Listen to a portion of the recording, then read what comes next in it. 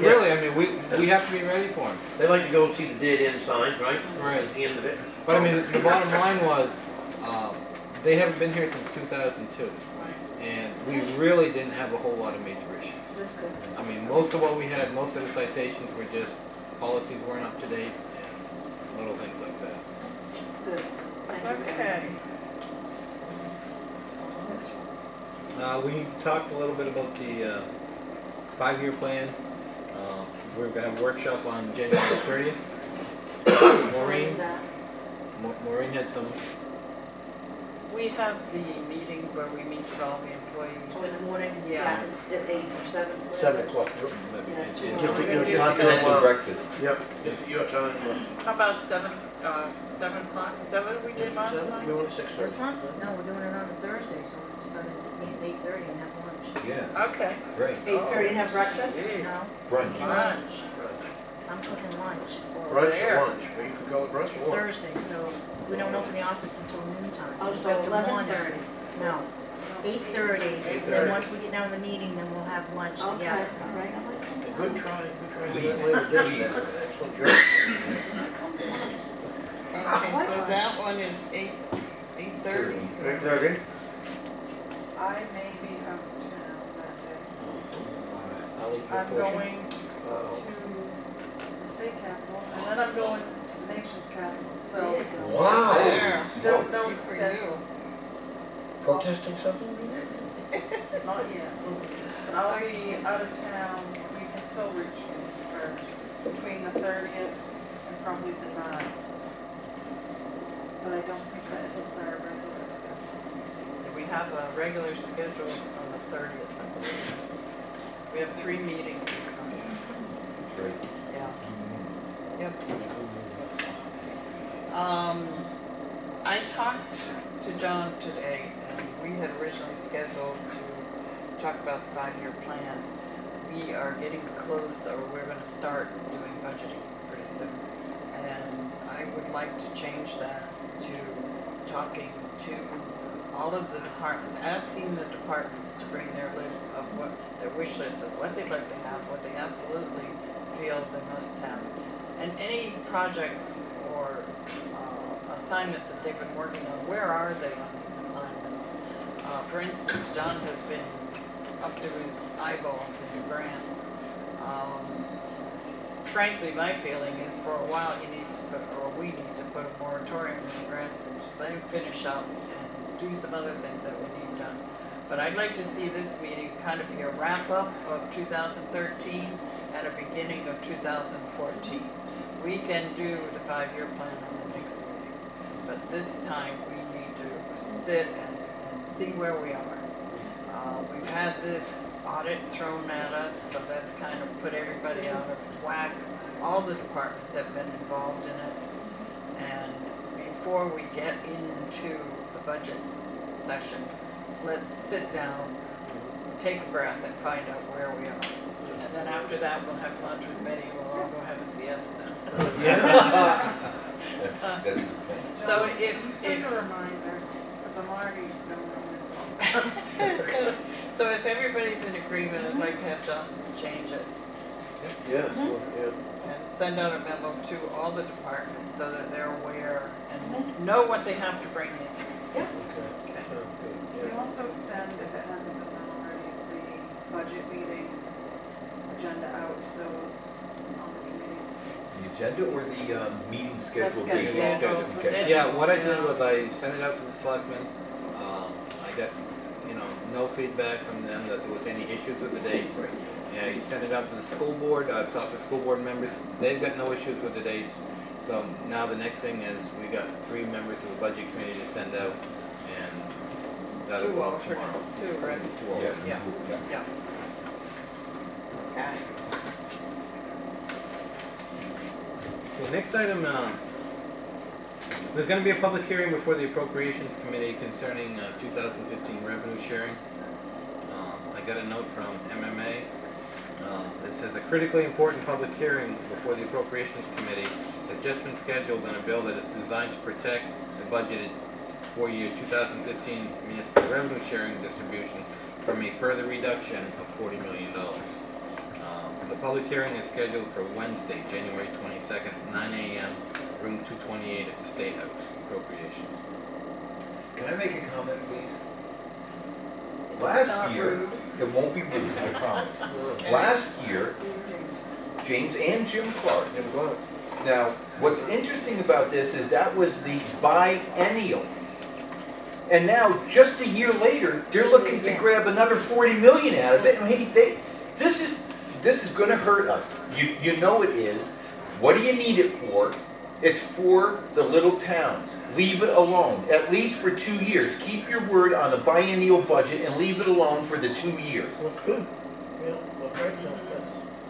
And then, and and then at the end of the year, Will I tell can't. I am so wrapped up in my shellfish work I know. That there is a shellfish advisory council meeting the same day, and this green crab issue is gonna come together somehow, and I don't wanna lose the continuity of Lubec keeping our hat in the ring on this issue. And I wish I could, but And the other thing I would is- get too emotional at that one, because, eh, again, I mean, not even. And the, and the other thing is, while we were there, you, you you felt so humiliated before you finally got around to listening to the select people. Because two-thirds of who was sitting in front of us, the delegates, somebody spoke up and said they have got other meetings to be to, it was like three-thirty in the afternoon. And I figured that, uh, that was under a candlelight situation when they looked it through it. We was left with the secretary and the uh, janitor, and we sat back and we explained our problems. And there was a lot of representation through a lot of towns in the state of Maine that gave some great, great presentations on the significant part of it, the whole financial thing of it. But it didn't get nowhere. It didn't get nowhere, and it was just like, you know, you, you drive three hours to get three minutes in, and it was just plainly atrocious. And then we just left that, and it just felt empty, empty, and now, on what they said about, you know, it was gonna wait a few years before they bring it, they're bringing it up again already. So it's just, what do you go there for? They just, they have the agenda all set, they just have to sit there and listen until you're ready to leave, and then it's all done, and then it's all played out the way they want it. That's- that's a lot I work. remember there was one- I think MMA is aware of that. Um, Yes. If you read this from Jeff, I think they are gonna be a lot more pushy on behalf of the towns this time. Um, his memo talks about how rude they were and how disgusted the people from the towns were. And I agree with Jim, It- it's a three-hour drive to go up there and talk to the janitor and, and the secretary is just absolutely ridiculous. Well, one of the- Nobody has the time to One, one of do the that. things, one of the things that really, really bit onto him up there, that really grabbed on MMA, is the organizing that was done in this office over taking a great big giant ten pound junk paper up and all color coded on all the properties through this town. And it's been put onto all these different land trusts. And we're going right down the hole like it's a giant cancer. And then they try to downplay it even afterwards. But MMA caught on it this way. When we spoke to them and said, they're the representation of every town throughout the state of Maine. We're their breadwinners. If we start dissolving as towns because we can't afford to live here no more, or have a town, so they're gonna have to pass out some pink slips. Yeah. I think that was the main focus on, we've gotta come up with something. Mm-hmm. And I think, I've heard it's bits right now, that they're trying to come up with some kind of a jumble mumble up something Yeah. to kind of like pacify people that are starting to become aware and say, this has got to stop. And what they do in the southern part of the state isn't fair to this side of the state Right. because they have different rules in the same state. Mm-hmm. Dollar and cents value wise. It almost seems like the free Maine issue where they're not going to tax us. It would be better if they not only didn't tax us, they didn't expect us to give them anything. That's right. They're not giving us anything. That's right. Well, we Lou put Beck- a lot of stuff together last year, and I think we need to send it to them again with a note that said, you know, we went through our budget season, we cut our budget, Mm. We're still hurting, and you still wanna take Right. Mm. the forty, whatever it was. What, a million? and- it needs to be sent not only to Catherine, but all to Washington County, Dave Burns, Right. and Can we ask Catherine if she can submit it for us? If Yes. she's there? About Dave Burns. Would you do that? And Burns, Dave Burns put too. Dave Burns He's in the Senate. They can, One's in the House and one's And in the send Senate. it to Well, Uh, have uh, enough brain for Peter Button. We can send it to this Jeff Yeah. Harmon. Yeah. Peter Doak, he's still in Yeah. there, Yeah. and the ones in council, all of them in the county at least, and, because their terms are the same. Yeah, sure they are. Joyce, Joyce Maker. Send it to our commissioners.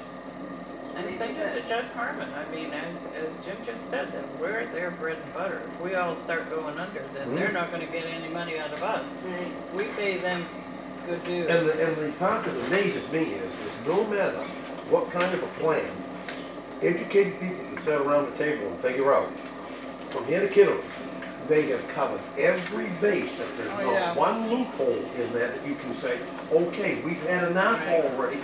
And, and how many acres is there in the overall state of Maine that's put underneath us? Overall, you will find that it is a large, large sum of land. And I think that's plenty to play in. So.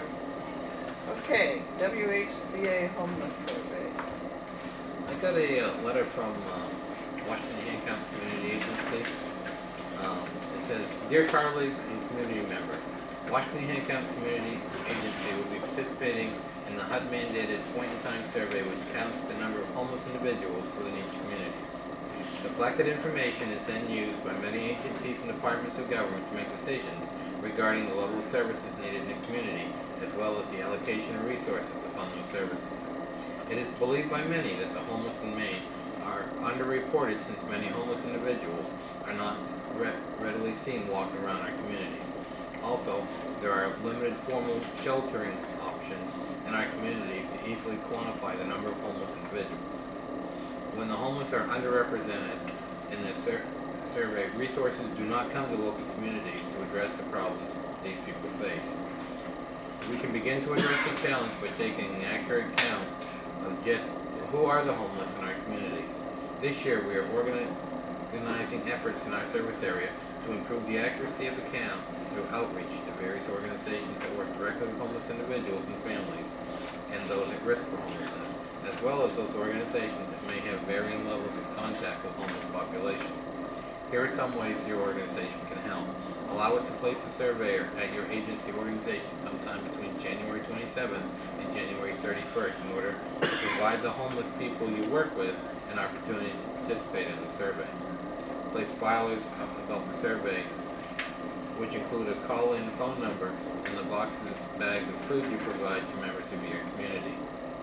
If you're willing to participate in the survey, or if you have any questions, please contact Bobby Harris. Yeah, 207-610. You can also contact Thomas Caravan. Thank you for participating with us to determine the extent of the homelessness issue within our communities, which ultimately leads to obtaining resources aimed at combating the issue. We're also pleased to tell you about the new program at WHCA that supports services for the veteran family, offers short-term financial and case management assistance to homeless veterans or veterans threatened by eviction for overdue rent or utility shut-offs. If you know a veteran who's having difficulty with housing, please share the enclosed flyers information about the program with him or her. I suggested to, to, uh, John that he contact, um, Ann Slatel. What stood out to me and what is highlighted is putting it in with the food boxes. Yeah. And Yeah. Lubec is served by that food pantry. Mm-hmm. So I think that they would be a better option. I mean, we could have a surveyor sit up here, but I don't really think that it would do Whoever any comes good. in. So I think we should ask Ann to So the real issue is homelessness, which can mm-hmm. occur for many different reasons, for both long and short-term Mhm. circumstances. And many of those people, either through embarrassment or in some cases pride, won't come forward to say, I need a place to live for four months. Yep. You know, and I've heard, when I first came up here, I was kind of amused when one older gentleman told me, well, winter's coming on, and he asked me how much a window cost in a house. And I said, geez, why, you need a window in your house? He says, no, but if I throw a rock through that and it costs enough to fix it, I'll have a place to stay for the winter, the county jail. And I was like, well, that's one way out of the situation. But before someone has to get that desperate, what can we do in our town? Okay? Yeah, we've got some homeless here. We don't even have a soup kitchen. Well, what we need to do is we need to use the resources that Washington Hancock County has. Um, there is a shelter, it's located in Ellsworth. Um, I have had opportunity to, uh, send someone there when I was up here as administrator. Um, a couple of times we, we've had people go there. Uh, so there are some resources, but the Washington Hancock County agency that is doing this survey is a really, really good resource. And if we could make some copies of these flyers and have these available Yes. at the desk, I think that would be really helpful. Um, if there is help available for veterans, and if, um, they wanna be counted, and they cannot, or they do not go to the food pantry, they can come up here and be counted. We do have the numbers for the Washington Hancock County Agency, and we would be more than happy to provide it to anyone who needs it. I mean, the other thing too would be, uh, you know, we got the contact information for Bobby Harris and Thomas Right. Hanovan. You know, perhaps we could put them on Channel Seven, so if somebody knows of somebody who could use the services, you know, maybe that would be a good way to get the word out, that these are the people you need to contact. Well, It's nothing to be ashamed of if you're in that situation. Um, One of these will be in the front lobby, and please get counted. And, and we will have a supply of these that people can take if they want to.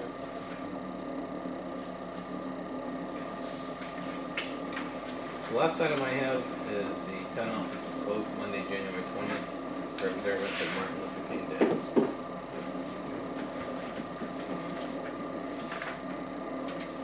And next we have committee updates. Shall we start with Michael? Please, okay. um, We had a municipal facilities meeting at which Peter Kaufman attended, the state sand salt shed. Um, Then we had a follow-up meeting last night, and um, we covered different designs of salt sand sheds. And the consensus of the group was to stick with the original size that we, and design that we had originally considered based on the cost compared to all the other options of buildings that won't stand as long. That's enough said about that. Because we'll, we're gonna be doing some sort of video presentation to bring the townspeople up to speed on this. We tried at the, the, during the last time around with Public Works. We didn't get a lot of participation from the public. Um, But that, that's not going, it it just means that we need to rethink how we present this information to the public. Um, Since that time, we sent out a survey asking, uh, and we learned a lot in our questions of the survey, that uh, the location was key um, to why it was not embraced the first time around. Uh, So we've adjusted the location to that desirable location of the 52 acres at the Legion. Um, The committee also discussed the necessity for the building being heated with radiant heat form. And we've now decided that that is not a necessity. Um, so that may take a large portion of money out of that cost of that project. Uh, The committee also asked uh, if revenue sources would be coming online that may be earmarked by the public, their decision at an annual town meeting for the duration of paying off the cost to help reduce it to maybe bring this in at nearly no tax increase as a result. Uh, We're all aware that uh, Lubec has been the host community to ocean renewable power, that we will soon have um, a cell phone tower, and these would be revenue sources above and beyond what we've had uh, prior to this. And if we're smart and wise about our true needs in this community, we'll make a decision to earmark that, to pay this off, so that we all don't bear the brunt of it. Yeah, good deal. Um, Good thinking. Well, it's, people answered the survey and they said, they, they admitted, they realized that this building, we're kind of joking ourselves, thinking that this is an operation, it's like a corrugated tent. And it- I mean, it's starting to show its age, it's over fifty years old, Yeah, folks. and- we received a note this week from MMA. They are lowering the cash value of the building from one oh five to twenty-nine. Wow. And- That's being graceful. Yeah, and I, I got another note, uh, saying based on uh, the material that they have, photos that they've taken of the building, uh, they're gonna review it again in six months. If it's there. If it's still there. If it's still there. So, I mean, you know, we're being told by our insurance company that it's time to do something. Yeah. So, that was one committee. Okay. um, Shellfish Committee had previously scheduled meeting on January 22nd. That has been changed to January 27th at 4 PM here at the town office. And the reason for the change is I will be attending the Shellfish Advisory Council meeting in Ellsworth on the 22nd. And then I can report back to the Shellfish Committee on the 27th with maybe some good news about um, the green crab situation January twenty-second. at 27th at 4 PM. Okay, now, uh, I'm holding in my hands a permit application form for municipal green crab exemption traffic. Now, this is the one where you can't make any money if there was a market. It's just to start controlling the population of these predators and um, we will go over this information and come up with um, the buoy. As soon as we get our number, then that's marked on the buoy. It's no different than any other fishery. The only requirement is, is you can't sell the crabs, you've got to compost them. You can't dump them back in the water, you can't kill them and put them back in the water, they've got to come on, on on shore and be destroyed. Okay. Um, I understand some members of the fishing community have applied for the specific green crab trapping permit. So if a market appears, they will be able to sell. And lobstermen who have a lobster crab license can keep the crabs for their own personal use. They will not be able to sell those crabs that come up in their lobster traps unless they have the commercial green crab So I have to have two. $38. So I Which have is to have $38, I know what exactly. it is, So- uh, five hundred one for a lobster crab, period. Right. And a crab's a crab outside, now what they come up, the blue crab and the pink crab. I wonder if we're gonna have to get license with the pink crab and the blue crab, and the purple crab. Yeah. You know, it's just, I love it.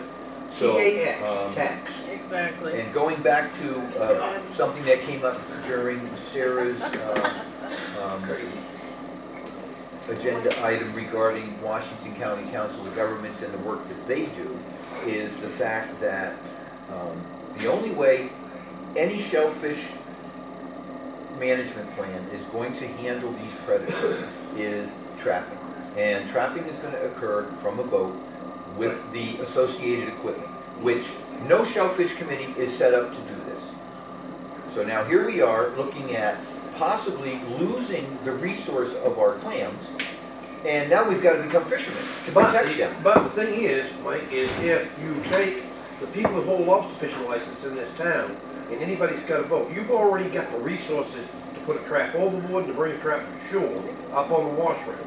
So, all you gotta do is, is if there's a market there and there can be some money into it, you will have a, the whole charge of lobster fishermen, once they get another crab license to go on out and, be- because the whole thing is, is, is to make a living, and if you can trap this year-round and make an income off of it, there is certain people that would take small boats or whatever on the inshore, and also the boats that's uh, often deep in water that, even in lobster traps, if you bring up a byproduct that's in a lobster trap, and you can take that out of a trap, because the crabs are a lot bigger out there, and throw them into a container and sell them as well, then that pays for some fuel, it pays for some bait. But the main key here is, of course, is you have the boats and people have the equipment. It's just whatever differences the trap would have to be to be able to fish just the green crab. I won't go into the nitty gritty of the trap, even though I know it. But I would like to address what you said about the lobster fishermen uh, getting in on this, and I would, I think that's wonderful. I don't know how many of them will accept that it's our shellfish flats that are the areas of concern. And there is no market, there's But- no but- money yeah, in but there's no with the money in shellfish, this. You're cutting it short, you're just laying it on one side. So the green crab takes, uh, the, the uh, clams that eat those, they eat small little fish, they eat small baby lobsters. Keep going. So, so actually, you- well. I know, but, but actually, they all do, they all have a reason in that resource to eliminate something that is a predator, that's really, really gonna be able to make a dent into the livelihood of several different types of fishery. So this way here, everybody can be on board, it's just the idea of the establishing. I mean, I really think if a man's got a lobster license in his pocket, the money that he pays for that, lobster crab, that should cover it. Somebody that don't have a lobster license, Right. because you can't Right, get a you lobster. don't debate it with You me, want- I'm not no, no, no, DMR. No, no, I just, Alright. Can we put Right. this off? Sure. Right, well, the point of that was to say that, um, I'm not going to leave no stone unturned in looking for a solution to protect the town of Yeah. Lubec's clam resource. I agree. Okay, and I. Whether a market and I appears or not. you for it. Thank you. Thanks, oh, Mike. Yeah. I'm gonna make t-shirts. I'm gonna make t-shirts, and these t-shirts, crabs. Silver. Crabs. and maybe you'll make some money. Yeah, so I'm gonna be straight it rich right there. There you go. Mike, you're gonna be my first sale. There you Oh, go. he- he- He's in, he's in. Okay, any other committee updates? Harbor Board, Okay, how could I forget? You didn't come to the meeting. I We missed it. yes you What night was it? What day was it? Last What night, time? it was last night. We had a good meeting. good. and I'm sorry. She was gathering you up. Um, We had a good meeting. We um, discussed the continuation of the mapping in the mooring fields. Uh, John updated us on the um, NRPA permit regarding the town facility and that we're waiting for one more and this is really looking good. Um, And uh, we had a report from the harbor master. We have some um, lingering mooring situations which will be corrected in the next week.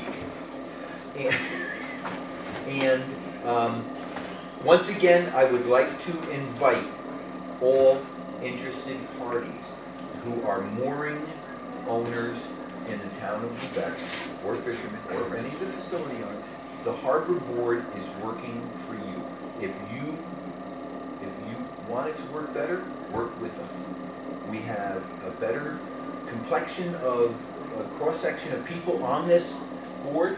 It's, it's starting to really click, it's getting fun and exciting, and, uh, we're, you know, we're, our meetings are scheduled, and the notifications are on the town website, uh, they're posted. Please, come attend. Okay, any other committees?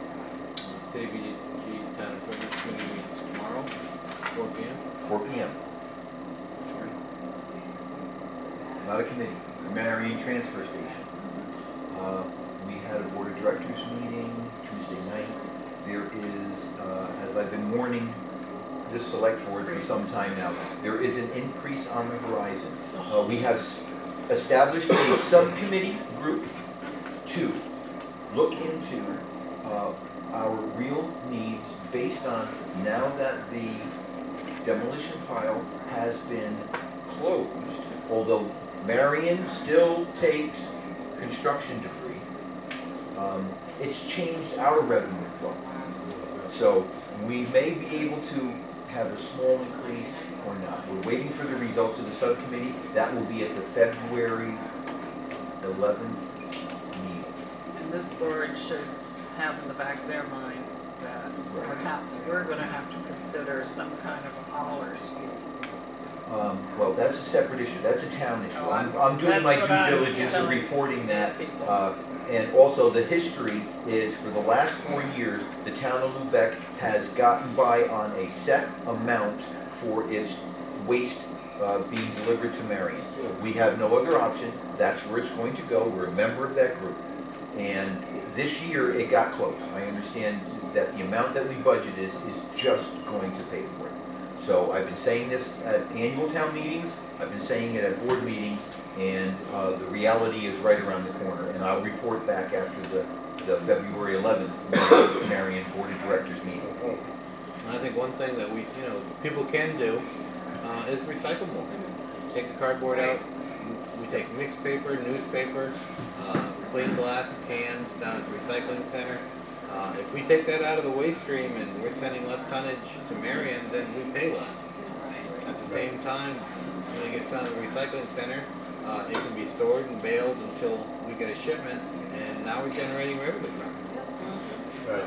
I also mentioned, that reminds me to uh, tell you that um, the Eastport City Manager. Larry Post, will be in touch with you because in the past, they've had volunteers that it's been on again, off again, um, management of their recycling. And um, uh, I asked him to get in touch with you and come down and look at our operation. We're- uh, We're very proud of that. I always talk it up. Yeah. And we're one of the few towns in the Marion group that's actually um, uh, putting as much effort into it as we do. And I mean, you know, we're seeing our tonnage year over year grow. Every, every town is. Every town is. It's not, it's not just us. Every town is making more garbage. That's, I don't know how Well, else well, to yeah, but say I it. mean, w- w- we're seeing the recycling aspect of it grow. That's that's something that not every town can say. No, and that's why we were able to keep that floating, but there's, there's They've, more uh, refuse production. Uh, Madam Chair, they, they got a thing now, I guess, down in the city of Portland, they're gonna try to push through, uh, in the town council, that, uh, they want to charge ten cents for every shopping bag that you bring into. Oh, yeah, yeah. Yeah. It's just unbelievable Yep. to what degree Yeah. that they're trying to turn things around, so I guess you take cloth in. But one of the things that really astonishes me a great deal on this we're all trying to take and reconsume something and recycle things, but all these companies, manufacturers, at one time, we used to have a little glass jug filled with milk, and plastic plug for in the school system. You dump it out, set in a tray, they'd scald it, they'd bring it back to you the next time. You Right. just threw away the little disc. Uh, you know, I uh, know. It may come back, I'd like to see it. Uh, them all scuffed up Coca-Cola bottles, that Love 'em. would go back to the Beautiful. bottling plant. and- Joe, you studied